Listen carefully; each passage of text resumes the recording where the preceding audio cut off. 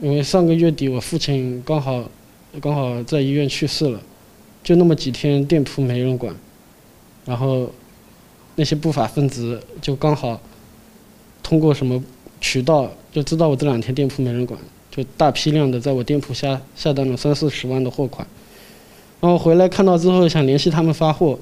结果一个号码都联系不上。王先生在台州仙居开了一家天猫网店。六月底，因为家中变故，王先生没有办法顾及店铺的情况。等到回过神来，他发现从六月底开始到七月初，店铺被大量下单。下单之后超过四十八小时内没有发货，买家就可以到后台投诉，理赔百分之三十，保证金一共是五万块钱。他们陆陆续续下单投诉之后，把五万保证金差不多扣光了之后。淘宝就把店铺给它关闭了。嗯，我们这个产品都是在圣诞节销售的，平常基本上都是没有订单的。这个店就只卖圣诞节礼品的。目前，王先生的网店还要补缴四万八千多的保证金才能恢复营业。他的这家网店只售卖十多块的苹果袋以及一些相关礼品。到底是谁在这个时间段大量下单买这些礼品呢？王先生导出了后台数据，其中有不同账号和地址的下单记录。王先生抽取了一些号码打了过去。月初的时候有在我们店铺下单过一千多块钱的圣诞礼品吗？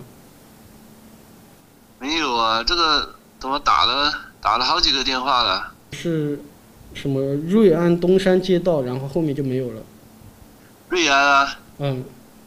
那不知道。本身在瑞安吗？我现在在那个温州龙岗。您好，您拨打的号码是空号，其中还有一个尾数是六个九的号码，王先生打了过去。您拨打的号码是空号，请核对后再拨。核实您的订单超时未发货且判决成立前未核实到恶意投诉记录，您也未在投诉页面进行举证，故赔付买家的钱款无法追回。嗯，您这边的话，您的这个监管的话，看到是。您这边保证金不足，然后十五天内未补足才会被监管的。这个的话，因为您当时您自己也没有去经营它，而导致的，都是有给您后台有这个发这种信息提醒的，就在内信官网。而且您这边违规这个信息的话，您也是能收到这个您的违规一个详情的。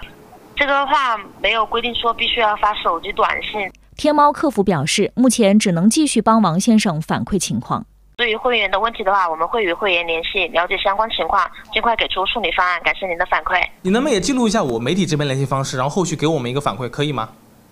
我们这边会与会员联系的。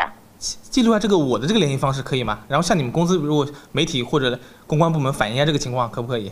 嗯，亲这边的话，感谢您的一个关注，烦请您提供一下会员的会员名和具体情况和诉求，我们这边会与会员联系的。王先生已经将相关情况反映给了当地公安机关。幺八幺八黄金眼记者报道。